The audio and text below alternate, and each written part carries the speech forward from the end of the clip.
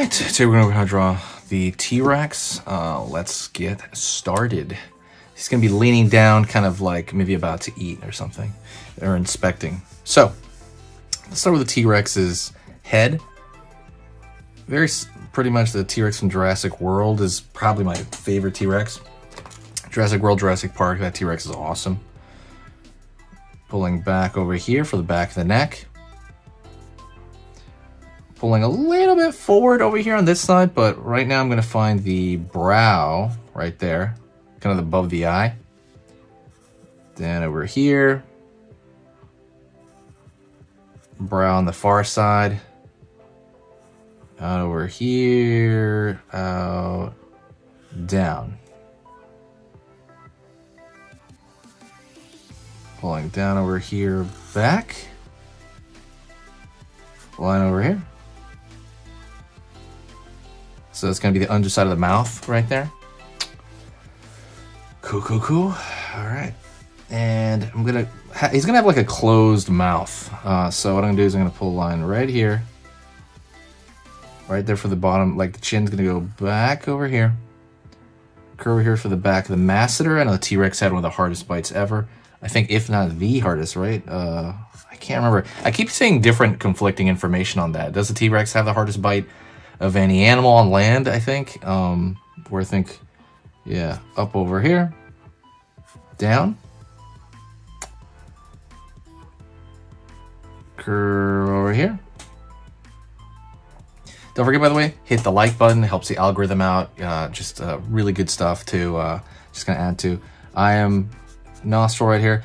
I am adding a video a day, so don't forget. curve back here. I'm sorry, I'm adding three videos every single day. Three, uh, you know, lessons every single day. So request what lesson you want. We'd go over everything over dinosaurs, uh, Sonic. Definitely name a dinosaur because that'd be pretty fun.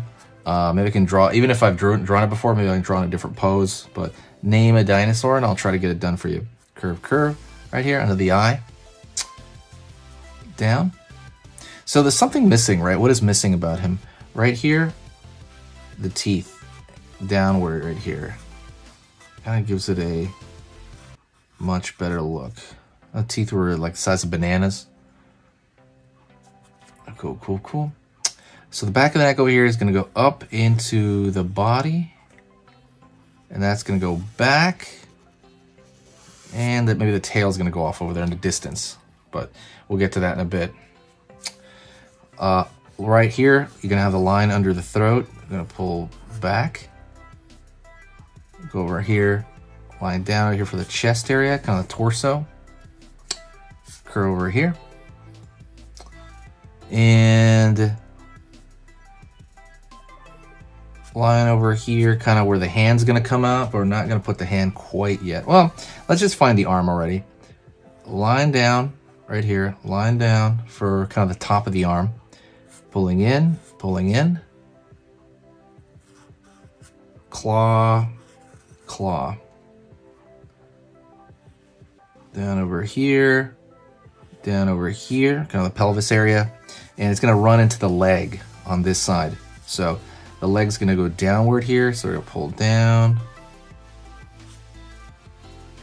That's really that, like the knee area, although I heard he didn't really have a kneecap, I heard. I don't know how that works. Back down. Line over here for the calf. It's gonna go back down into the heel area.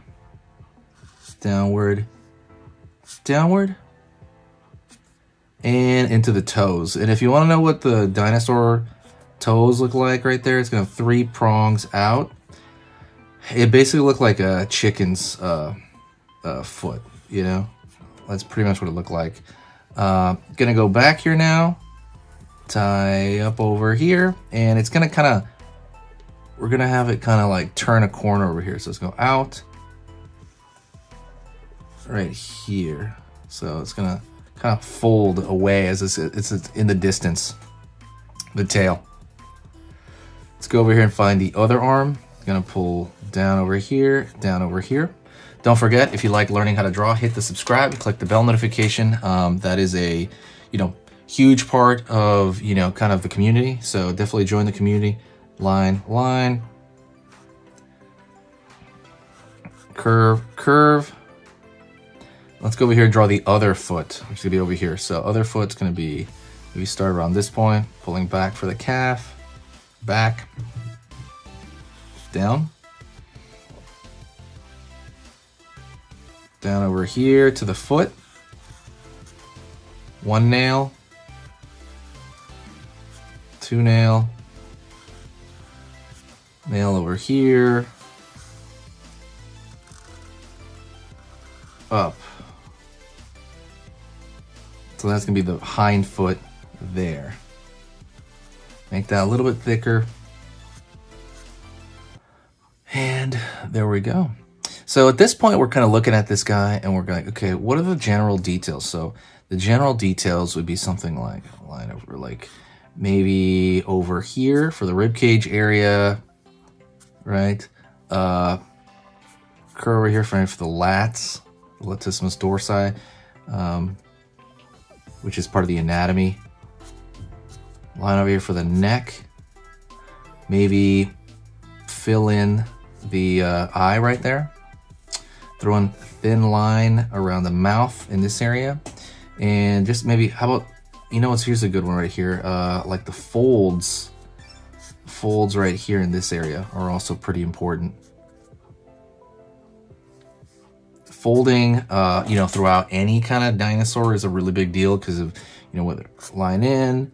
I know it's a pretty big debate whether dinosaurs had lips or not, you know, but um, you know, I like I like both versions of it. Um, maybe throwing in a little lines over here for the feet. You can always throw in little tiny curves of where you think where you think things might end up, and that's kind of a big uh, kind of power to this, where you know you're kind of like not really sure about what's going on here, and uh, so yeah, just uh, um, that's you know like fill we're gonna go over here and find some dark spots as well. So we're gonna go over here. Find a dark spot here maybe go over here underneath him as well like in this area throw a dark line. And we put something dark it definitely grounds the dinosaur um, you're, you're looking at. So I like doing it here as well. Over here uh, as well. And maybe over here on the side. Side over here. Line. Line over here curve curve line over here on this side. Curve. And think about maybe like did T-Rex maybe have a pattern on him? Uh, you could always throw like spots right? Because this isn't uh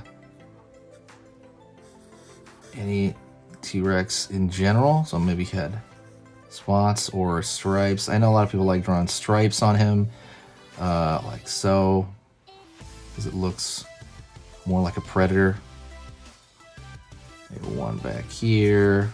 And you want to draw them thin, because thin is always going to be better with detail. So when we draw thin stuff like that, it's always going to look a lot, a lot better. Um, but you can pretty much infinitely go into this guy and just keep, you know, keep on the, on, uh, you know, just kind of drawing. It's, it's, that's what's cool about this. You can kind of keep going on this forever. Right, keep drawing little like tiny nicks and scratches and things and this blemishes in the skin. So. I want to thank you very much. Um, you are amazing. Uh, let me know if there's another uh, dinosaur that you want to see uh, or uh, definitely like recommend. I can I can do a lesson for one. And I will see you in the next video okay? Talk to you soon and I'll see you next time. Later. Ooh one last thing if you're still here. Don't forget we are selling this pencil case this is an armadillo pencil case and you, I, what I tend to do is I put in all my you know markers and stuff or whatever pens and pencils that I need to sketch outdoors and I put it literally on my wrist like that just to carry it around. And the cool part about this is there's a magnet in it and this literally also straps around your sketchbook if you don't want to carry it like on your wrist like that. But very durable, been selling it for 10 years. And uh, yeah, Very, very durable. So go check that out. That's called that's arm-adillo.com. Arm-adillo.com. Go take a look at it. I will see you next time, okay? See you later.